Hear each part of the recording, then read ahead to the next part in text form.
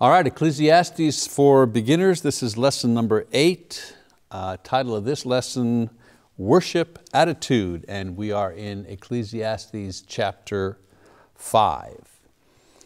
All right, so far Solomon has been uh, giving us uh, some pretty bleak results of a life dedicated to finding meaning and satisfaction without God. He's not a happy person, he's not a happy camper.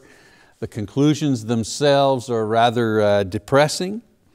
In chapter five, uh, there is an abrupt change as he makes some comments about worshiping God properly, and then he goes on to talk about the enemy of spirituality, which is materialism.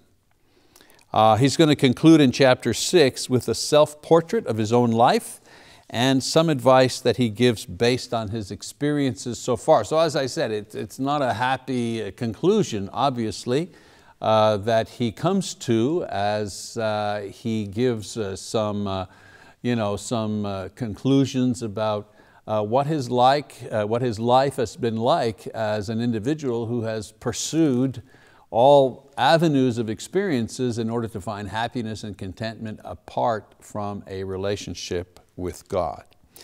So without any warning, you know, streaming these type of ideas, then all of a sudden, without any warning, Solomon leaves off his description of his lifestyle and he begins to warn his readers about the proper attitude that they should have when worshiping God. And he just kind of goes through these. We'll read these uh, as they begin in chapter five.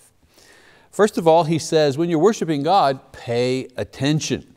So chapter 5 verse 1, guard your steps as you go to the house of God and draw near to listen rather than to offer the sacrifice of fools, for they do not know they are doing evil. So pay attention, realize that you are going to worship Almighty God, the creator and the judge of the world.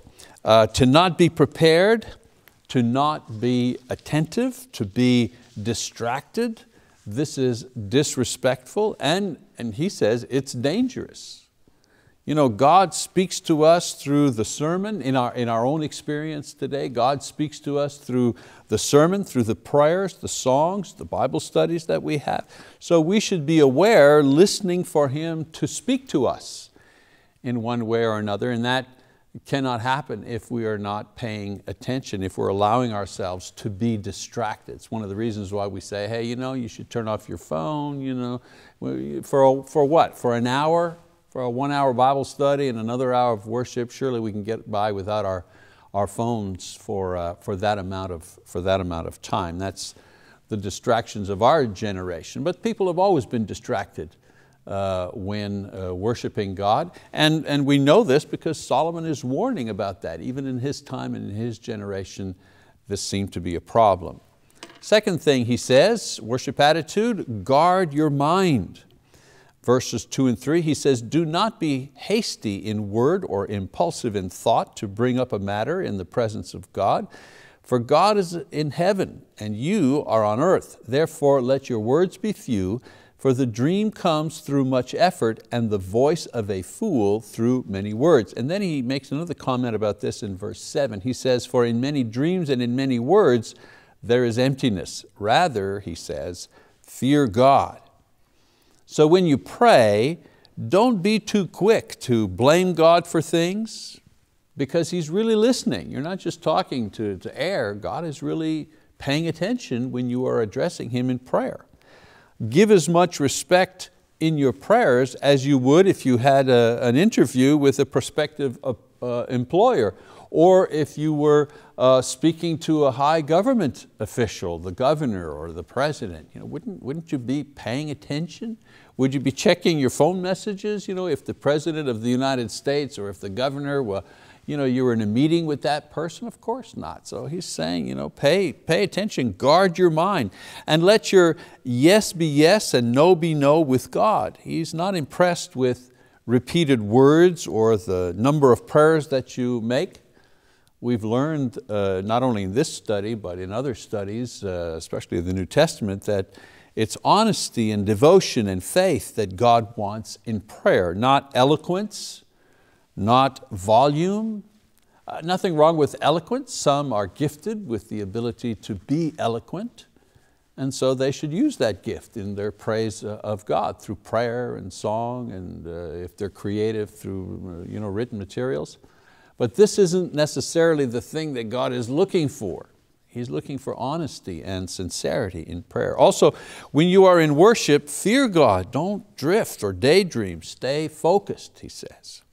It's easy to let the mind wander uh, and become distracted and make rash promises or make uh, rash statements in prayer. I know people, you know, sometimes uh, they're angry or upset because a prayer has not been answered or uh, maybe the prayer has been answered but not in the way that uh, the individual was uh, seeking uh, for an answer. And I've heard and seen people become angry at God and make rash statements. And Solomon is warning, you know, be careful, be careful what you say and what you think when addressing God. So Solomon says that when you worship, you should be calm, focused on God, simple and honest in your prayers and in your, in your uh, speaking uh, with Him. Another thing he says in verse five, keep your promises. When you make a vow to God, do not be late in paying it, for He takes no delight in fools. Pay what you owe and pay what you vow rather. It is better that you should not vow than that you should vow and not pay. Do not let your speech cause you to sin, and do not say in the presence of the messenger of God that it was a mistake. Why should God be angry on account of your voice and destroy the work of your hands? So if you offer God your life, then don't take it back. If you promise to give up something, then don't start it again. If you tell, uh, uh, if you tell him that you're going to do something, make sure that you do it. Uh, and why? Because God remembers. God remembers. Asking God's blessing on what you propose to do and then not do it, or repenting of a sin and then going back to it, these things lead to judgment because God remembers all of our prayers and promises and He holds us accountable. So on one side, we have to be prudent in what we say and what we ask for uh, because God remembers and so that, that uh, moves us to, be, you know, to fear God. But I also take that as a great comfort because if God remembers all of my prayers, that means He even remembers the ones that I've made and made sincerely, but perhaps have forgotten. Things that I've asked Him many years ago, and with time and you know, things happening, I've forgotten about that prayer. But God hasn't forgotten about it. God hasn't forgotten how He will answer and when, we, when He will answer. Isn't that happen to you sometimes? You know, all of a sudden something happens uh, I, I can't imagine what, but something happens and then all of a sudden you realize, oh, this is the answer to a prayer I made months ago or years ago. So we need to be careful when we do these things. Um, Solomon says that um, if you're not sure, you're better off not saying anything and not vowing anything. The idea of you know, with many words, you know, there's sinfulness. Jesus says that we shouldn't make vows. And the reason for this is because we're too weak to keep our vows, to keep them perfectly. Better that we answer simply yes or no than to make elaborate promises. For the Christian, in James chapter 4, verse 15, uh, James says that our, commitment, uh, our commitments to the Lord should be based on our dependence on Him to help us carry these things through. You know, when he says, if the Lord is willing. I'm willing to do this thing and I'm, I'm even wanting to do this thing. And if the Lord is willing, then these things, you know, these things will be done, these things will be accomplished. It's not just using if the Lord is willing as some sort of catchphrase. Like if you say, I'm going there tomorrow, Lord willing, that covers it. It's the attitude. It's the if the Lord is willing type of attitude, even if the words are not necessarily spoken, if the attitude is there, the prayerful, humble attitude that says, you know, my life is in the hands of God. To live and to die, they're in the hands of God. And so if tomorrow comes, then I have confidence that God will provide for me. That kind of attitude that he's talking about here. So, after his uh, comments about worship, Solomon goes on to discuss what he has learned about the pursuit of wealth and power. So he kind of jumps from one thing to another. In verses 8 to 17, he gives five principles concerning the pursuit of wealth uh, that he lists uh, in a row. Some things that he has learned uh, um, during his lifetime and uh, during the time that he has spent pursuing wealth. First thing he says, absolute power corrupts. Let's read uh, chapter 5, verse 8 and 9. He says, if you see oppression of the poor and denial of justice and righteousness in the province, do not be shocked at the sight, for one official watches over another official and there are higher officials over them. After all, a king who cultivates the field is an advantage to the land. In other words, you know, one official watching over another one higher and higher. You know, the rich are getting richer and more powerful, one over the other, but the tendency is to neglect, not help the poor. That's, that's what he's seeing. The oppression of the poor, denial of justice he's talking about. And then he says, I've seen one official over another, over another, suggesting the idea that they're, they're just simply interested in their own positions, maintaining their own power at whatever level they are, and not dealing with the injustice, may even be causing the injustice that is taking place among the poor. The way it should be is that a powerful leader should cultivate his people, as he's kind of making a, you know, an imagery there of the people being a, a, field, you know, where the farmer cultivates his field. He says a, a leader should cultivate his people, meaning he should help them to grow and to develop and to have a good life. That's why God puts leaders there. You know, sometimes people have trouble with the idea that you know, all leadership is permitted by God. And they say, well, you know, what about the terrible leadership in this country or the dictator in that country? You mean God is permitting that? Yes, God is permitting that, but we have to remember God is permitting that and God will judge that. Leaders will be judged on their leadership what kind of leadership that they provided. It's the comfort that we as ordinary people can draw from what God teaches us in His word.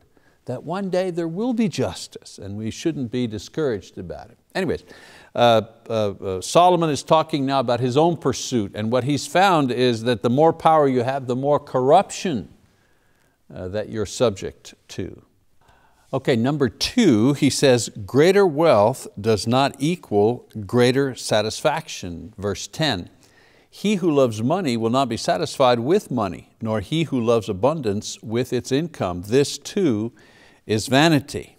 Now, if there's anyone who could have felt satisfaction from wealth, it was Solomon. He was the richest man in the world at the time, the wisest man in the world at the time. But he concludes that the getting of more and more money does not produce more and more satisfaction. Only the desire to have more money. You see how that works? the more you have does not breed in you satisfaction. Having a lot of whatever does not create the satisfaction. He's saying having a lot only creates the desire to have more. So it, it, it works in a contrary, in a contrary way. Greater wealth does not equal greater satisfaction. And, and then you know, later on he's going to give some solutions for these problems. Right now he's just saying, you know, in, my, in my pursuit of wealth and riches, these are the things that I have learned. Um, he says more money equals more worries, verse 11 and 12. When good things increase, those who consume them increase.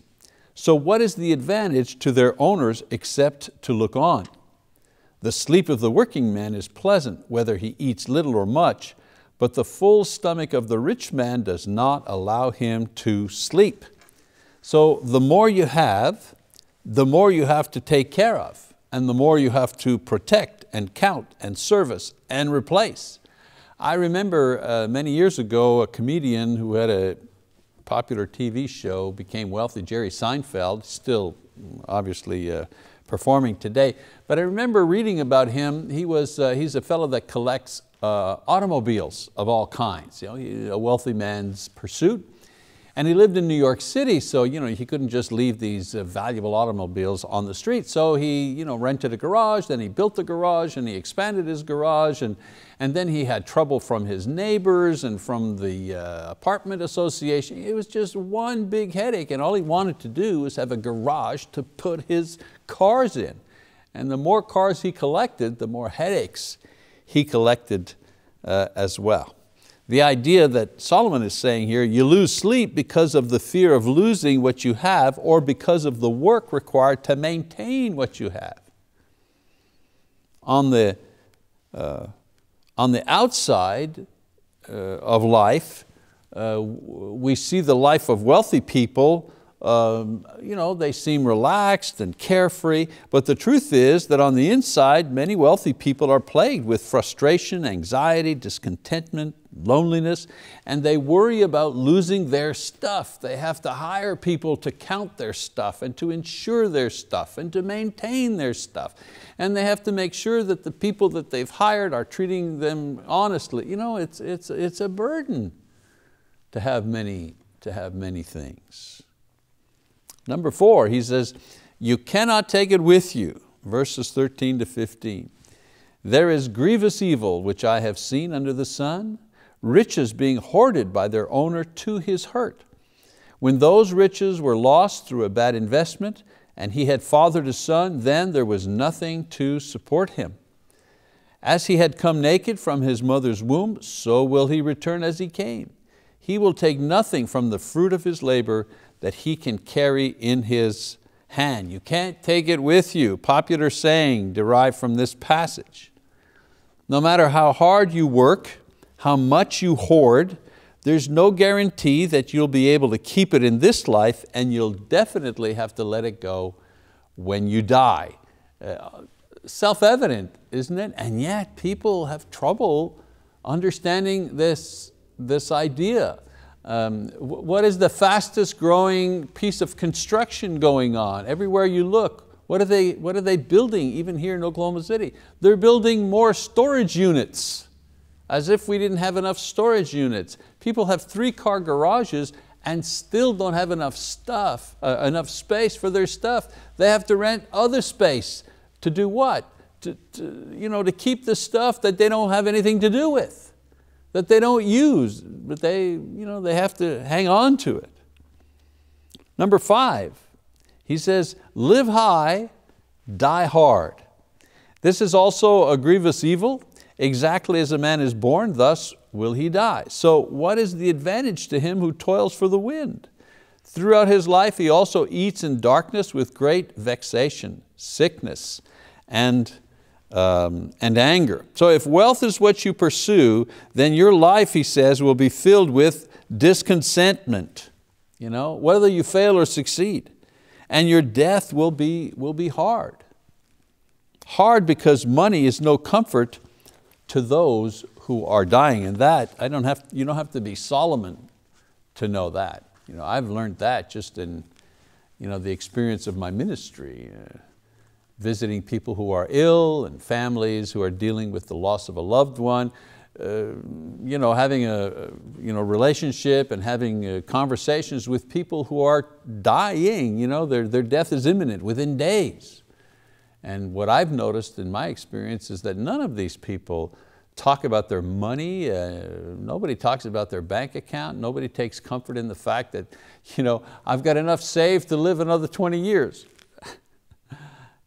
how many times do you hear people, they scrimp and save and you know, they, they just uh, so obsessed about uh, making sure they have enough for their retirement. And every day you read in the paper, there's always an article, what you need to have for retirement. You know, and they say, well, you need at least a million dollars. How discouraging is that for someone who just has an ordinary job to be told by the quote financial experts, oh, you have to have a million dollars saved up if you want a reasonable retirement. And some people deny themselves and scrimp and save and you know, it's like a, jo you know, uh, no joy in their life because they're so focused on saving and you know, keeping the money. And then they retire and then two years later they, they die. Yeah, they, they had enough money to last 25 years after retirement, but they only lived two years. You know, that, that's what Solomon would, would be saying. That that's certainly vanity of vanity. And other people, they, they do save that million dollars, right? They have that million bucks in the bank and they have all kinds of securities around them, you know? And what happens to these people? They, they worry and obsess nevertheless. Why?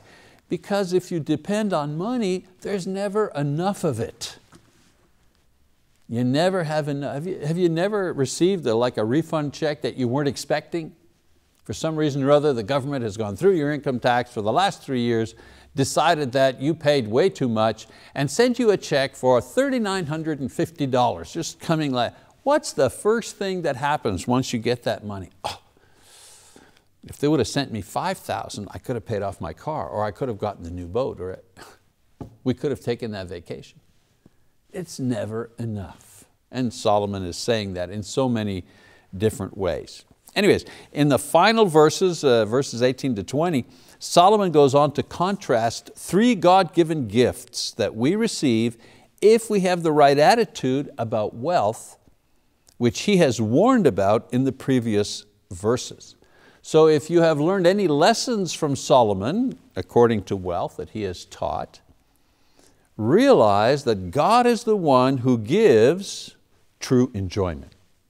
So let's read verse 18. He says, here's what I have seen to be good and fitting, to eat, to drink, and enjoy oneself and all one's labor in which he toils under the sun during the few years of his life which God has given him, for this is his reward. In other words, the, the ability to enjoy what you have is a gift that God gives to those who have the right attitude about wealth. If you have the right attitude about wealth, God gives you the ability to enjoy what you have, no matter what it is that you have. Secondly, God gives fulfillment, enables you to have fulfillment in your work, verse 19.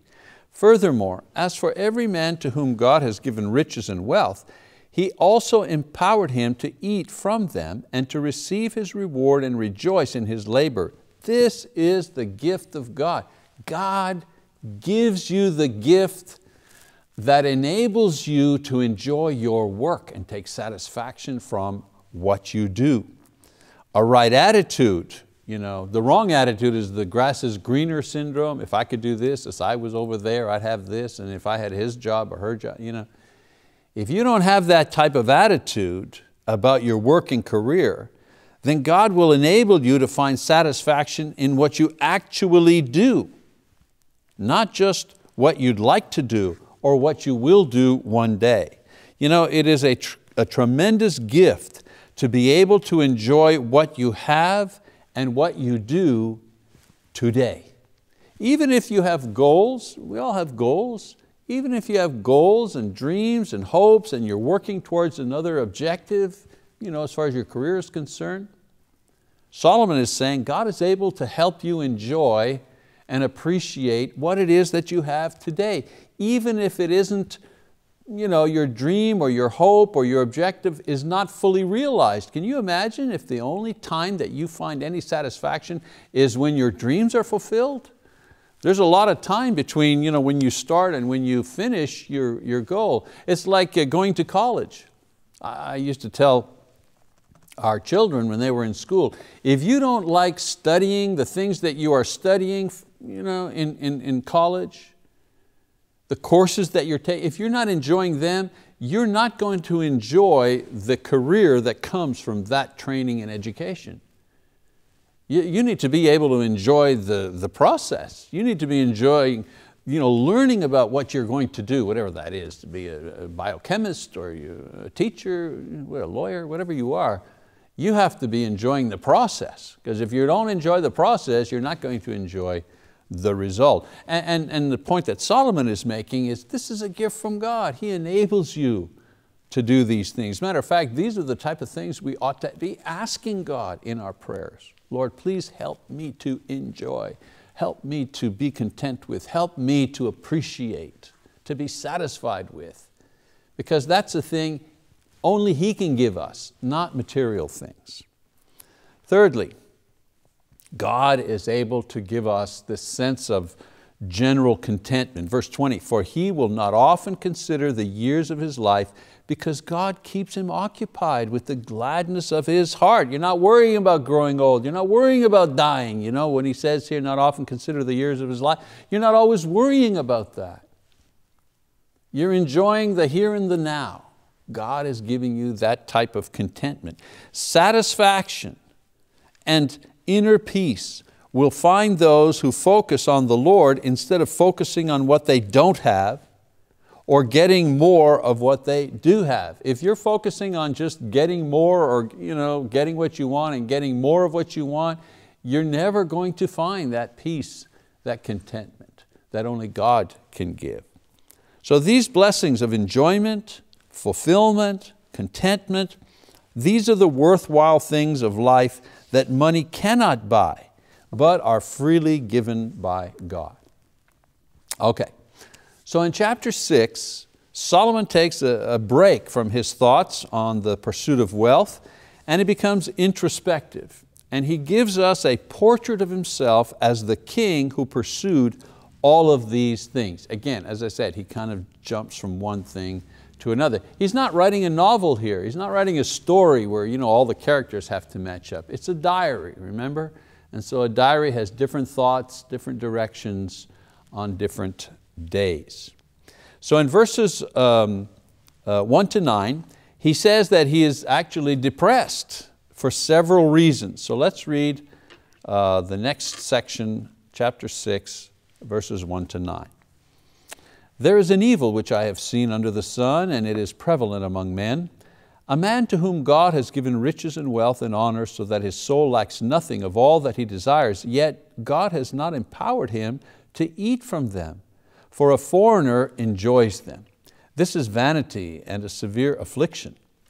If a man fathers a hundred children and lives many years, however many they be, but his soul is not satisfied with good things and he does not even have a proper burial, then I say, better the miscarriage than he for it comes in futility and goes into obscurity, and its name is covered in obscurity. It never sees the sun and it never knows anything. It is better off than he. Even if the other man lives a thousand years twice and does not enjoy good things, do not all go to one place?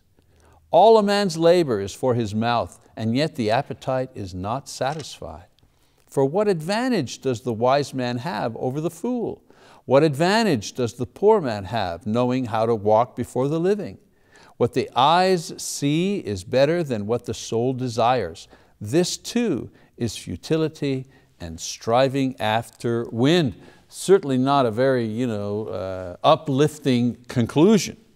First of all, he is not able to fully enjoy all that God has given him. That's how he starts. You know, he's gotten everything, wisdom and you know, riches and all the advantages, and yet he can't enjoy it. The foreigner that he mentions in these verses, this can be a, an enemy or a disease or a depressed spirit, but something's in his way. Some foreign thing is between him and the enjoyment of all that he's been given. We know that his lack of a full devotion to the Lord is what has blocked his enjoyment and his peace. You know, he has everything, but he can't enjoy it. Excuse me. He has lost two children and even replacing them with many other children cannot create the joy that he is missing. Talks about that in verses three to five. And long life or short life, he says these are both the same. They both end in death. This is something that he's mentioned over and over and over again from different perspectives throughout his observations, right? That you, you, you can't take it with you, the rich and the poor, they both die the wise and the fool, they both die, one's not better than the other because of this. So that's an observation that he, he makes quite a few times. Also, we get the sense that he is weary of not being satisfied with what he has. And wearier still of continually wanting more. Better he should be content with what he has, but he isn't. But he isn't. He, he understands what it is that he needs. I need to be satisfied with all the things that God has given me, but I'm not. So in the final verses, he makes some realistic observations concerning his own life and his own condition. First of all, he says, God is sovereign. Chapter 6, verse 10a. Whatever exists has already been named. Now, in that culture, at that time, naming something denoted sovereignty. In other words, if you give something a name, you, you are sovereign over that thing. So God is the one who named Adam, and then Adam named the animals. And so here he says, everything has been named, meaning Solomon concedes that no matter how great he is, there's always someone greater than, than he is. You know, everything has been named. Someone has done greater things than he, and in this case, it's, it's God. So God is sovereign, all right? First thing he's learned. Secondly, man is not sovereign. Uh, and it is known what man is right? It is known what man is. This suggests that man will never be sovereign, will always be in the position of inferiority before God and thus has no reason for pride. You know, so if, if all, everything's been named, it means you know, Solomon is not the one who named everything. The one who named everything, he is sovereign. Well, that's God. And then he says, you know, and it is known what man is. Well, who knows what man is? Well, God knows what man is. Man is down here and God is up here. And he recognizes and acknowledges that fact, despite all of his you know, tremendous experiences and wealth in life. And thirdly, disputing with God is a waste of time. He says, for he cannot dispute with him who is stronger than he is, for there are many words which increase futility. What then is the advantage to a man? You know, God's ways are not our ways. We, we, don't, we don't have to understand. A lot of times people are always praying and wondering, I wonder what God wants and why did God do that and why is this happening to me? They're wanting to understand. But we don't have to understand. It's not written anywhere that we have to understand. Our job is to believe. Our job is to obey. His way is always the best for us in the end. We, we can trust that even though we may not understand the specifics of why what is happening to us is happening to us, for good or bad. A lot of people are stressed out because they've been so blessed and they're going, well, I don't deserve this. You know, what have I done to deserve this? Well, you don't, you don't have to understand. You know, God is not asking us to understand. He's asking us to believe and to obey, and He's assured us that He is love. God is love, so that whatever the plan is for us, whatever the meaning of what we're going through, we can rest assured that it is the God of love that is working these things out in our, out in our lives. So Solomon finishes the last verse by saying that no one knows what life will bring, how it will end, what will come after. What's not said is that God does know and He does care and faith in Him is what He wants not debate. Verse 12, he says, for who knows what is good for a man during his lifetime, during the few years of his futile life. He will spend them like a shadow. For who can tell a man what will be after him under the sun? no use debating with God. You know, I've, Solomon, I've looked at it all, I've tried it all, I'm, I'm here to tell you I can't figure it all out. Who knows these things? Only God knows these things. So chapter six completes the first major part of this book. Uh, in these chapters, Solomon has examined life from every angle and he's experimented with every human desire in order to find satisfaction and happiness and true contentment, but to no avail. He had the right objectives to find contentment to find satisfaction, to find happiness, you know, those, those are absolutely legitimate objectives in life, absolutely. It's just that he went about them the wrong way and thus you know, failed. So he has discovered um, in his search only disillusionment. You know, it wasn't all that he thought it would be. You know, at the beginning it was like, wow, I've got a great life experiment here. I'm going to try all kinds of stuff, you know, and see what life is about and to make myself happy. And his conclusion is, I've tried all these things and wow, I'm, I'm disillusioned. And discontentment, that's the other thing that he's found. I have everything, he says, but I'm not satisfied. And the terrible thing is I keep wanting more, even though I know it's not going to satisfy me. And then of course, depression, disillusionment, discontentment, depression. So disillusionment plus discontentment equals depression.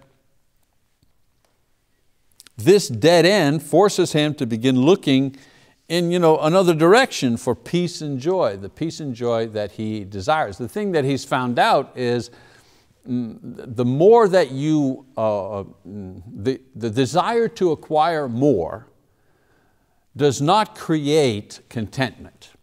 The desire to uh, have more creates only a greater desire to have more. So if you have a lot, having a lot of whatever doesn't naturally give a person satisfaction and contentment and joy.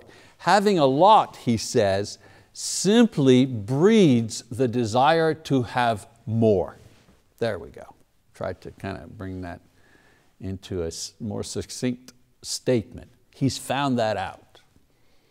And so from uh, looking strictly in a horizontal direction, more of this, try that, try something different here on earth with earthly things, now he's going to go to a horizontal direction, upwards towards God for his answers. And when we get to chapter seven, we're going to see him begin to look beyond the physical world to the spiritual world for answers and some of the things that he desires. So, so far he's been looking at life and experience always under, under the sun, here on earth, without regards to God. As we move forward, we're going to see that turn and he's going to start looking beyond the sun, above the sun, where God is, if you wish, in order to find the same things, to find the answers to the same problems. And we're going to, uh, we're going to continue with that as we uh, march through the uh, uh book of uh, uh, the book of Ecclesiastes with Solomon. Thank you for your attention. We'll see you next time.